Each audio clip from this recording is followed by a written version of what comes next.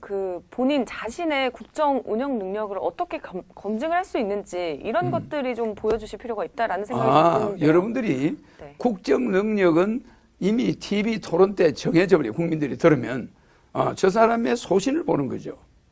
저 사람의 속에 뭐가 끓고 있느냐 그걸 딱 보면 알아요. 그 다음에 저 사람이 과연 장관들을 장악할 수 있고 국회를 장악할 수 있느냐. 저 사람이 장관에게 끌려다니고 국회에 끌려다닐 사람 그런 사람은 눈에 보여버려요. 어물어물 말을 한다거나 어뭐 나중에 보겠습니다. 뭐 이런 식으로 말을 할 때 더듬거린다거나 이러면 이미 국정을 장악할 수 있는 사람이 아닙니다. 네. 과감하면서 그냥 딱딱 이 말하는 거 보면 국민들이 어머 저 사람은 틀림없어. 저 사람은 이번에 찍어주면 진짜 난도질을 해서 고칠 사람이야. 딱 알아요. 그래서 그때는 예, 국정을 그 사람이 어떻게 할 거라는 건 TV 토론 때 또 각종 그 저 음, 뭐 이런 관훈 클럽 같은 데서 토론하잖아요. 또 방송에서 토론할 때 각 교수들이 주제를 던집니다. 네. 앵커들이. 지금 같이.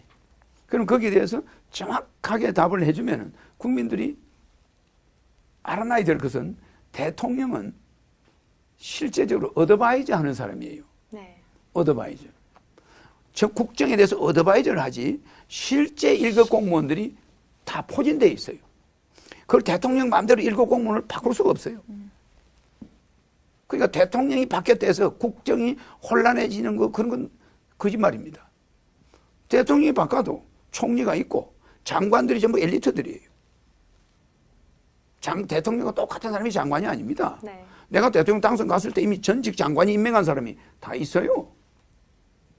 근데 나는 특징이 내가 새로운 장관을 임명하지 않는다는 게 특징이에요. 딱 대통령 들어가면 나는 어드바이저입니다. 네. 기존 차관들, 장관 있던 사람을 그대로 쓰는 거예요. 너와 내 조직이 없어요. 새로 임명되는 자는 대통령 하나뿐이에요. 농공 행상 안 합니다. 내하고 같이 들어가서 네 장관 해라 뭐 이- 이런 거 필요 없어요. 나와 기조가 좀 맞지 않은 사람들과 아무 상관이 함께 없어요. 가려면 아무 상관이 없습니다. 대통령이 어드바이저를 잘해주면은 그 사람들이 만족하면은 그 정책으로 대통령과 대화를 해보고 네. 밀어붙이는 거예요. 네. 오히려 그 사람들이 더 나아요. 내 패거리보다. 무슨 말인지 그래 국민의 신뢰가 높아지는 거예요. 역시 저 사람은 어드바이저야. 절대 내 사람이 따로 있는 게 아니에요. 그리고 또 그 장관이 몸이 아파서 그만두면 밑에 차관이 올라오는 식으로 하지 외부 사람을 임명하지 않아요. 절대. 그거, 그거, 어, 그, 저, 과기처, 뭐, 과기처에 있던 사람들 중에서 올라오는 거야. 장관으로. 일 1급 공무원이 차관이 되고, 차관이 장관으로 올라오는 거예요. 네. 업무 파악이 쉬워요.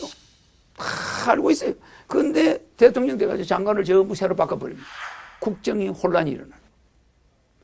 그 국정을 일일이 장관이 밑에 애들 그 뭐 부처 뭐가 있는지도 잘 모르고 그거 배우다가 몇 년 가버리고 나라 망해요. 딱 쓰던 사람들 그대로 데리고 와서 대통령 어드바이저로서 딱 야 이런 게 우리나라 좋지 않겠냐? 그럼 장관들이 아 나 못하겠어 이러면 나가는 거고. 좋소 나 허총재 허, 허가 대통령 새로운 대통령 뜻이 괜찮소 이러면 따라가는 거고. 그래서 절대 대통령이 강력한 대통령이 나오면 네. 어떤 사람 밑에 있던 사람도 필요 없어요. 다 나와 함께 가는 거야.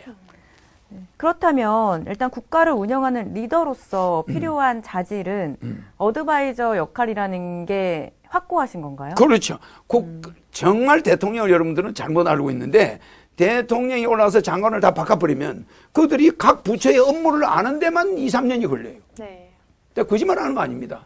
거기서 올라온 사람들 전문 공무원들 그 고급 공무원을 있기 때문에 나라가 엉망으로 가지 않습니다.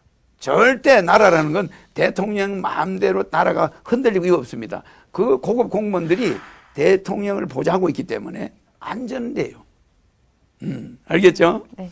음, 단 국회를 새로 만든다거나 강력한 걸 제시할 때 반대하는 장관은 나가겠죠. 네. 그런데 내가 제시하는 것이 상당히 강하면서도 포용을 합니다.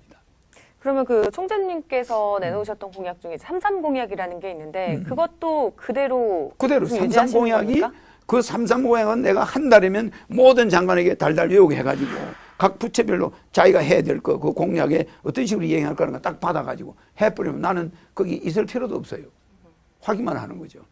딱 한 번 하면 한 두 달 만에 다 바뀌어 우리나라는. 그럼 경기가 확 살아나요. 네. 그러면서 나라가 제대로 돌아가는 거죠. 그러니까 우리가 한번 뒤집는 것도 매력이 있잖아. 그죠? 우리의 젊은이들이 한번 혁명을 일으켜 볼 필요가 있잖아. 우리의 20대들이, 30대들이 저력을 한번 발휘해 볼 필요가 있잖아.